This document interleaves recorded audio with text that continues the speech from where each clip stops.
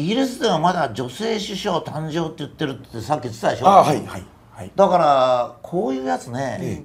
これマスコミがやってんのか？あそれとも世間がそうだからマスコミが言ってんのか分かんないけど、ええ。何にしろね、え俗人的なことだけを先に言うんですよ政策とか考え。方とかじゃなくて、女性だとか、誰かの息子だとかそういうのを先で、まあ、今度の東京都知事選もそうだけど、はい。もう誰がなんどういう東京都を作るのか分かんないけど、はい。いあの石田さんのやつも言っていいの？はいはい。あのもうあおっしゃ あそう、はいはい。石田さんのね、ええ。あとかもうまあ石田さんの方がまだ少し政策言ってるような感じがするけど、分からない、つまり僕がいつも例に出すのはね、え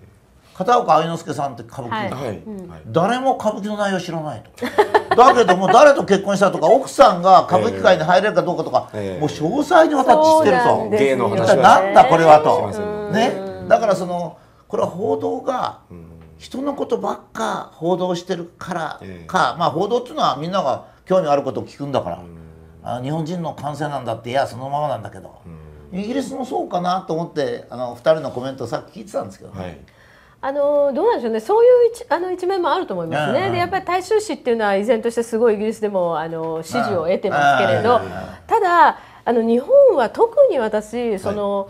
何をどんな仕事をしてるのか何を言ってるかよりも誰が言ってるかっていうことの方が重要なんですよね。いまだにね。そうなの。これは大変やっぱりその特に政治を、ええ。まあ、語っていく上では、どんどんそのレベルをやっぱり引き下げてるというふうに思いますよね。絶対そうだと思いますね、うんだから安保法案の時の審議の時に、ええ僕はタクシーを東京で乗ったらタクシーの運転手が、ええ。こんな国会の議論でいいんですかね？って僕にこう言ったと、ね、そういうレベルまで下がっちゃって、もうお互いに議論してるのはなんかつなんか変な人間的なこととか、あなたトイレに行くのかとか、そうそう、そんなそんなことばっかり。そうそう。そうなんですよね。ねえ、だけどまあイギリスもだけど女性首相今更サッチャーさんがいるのに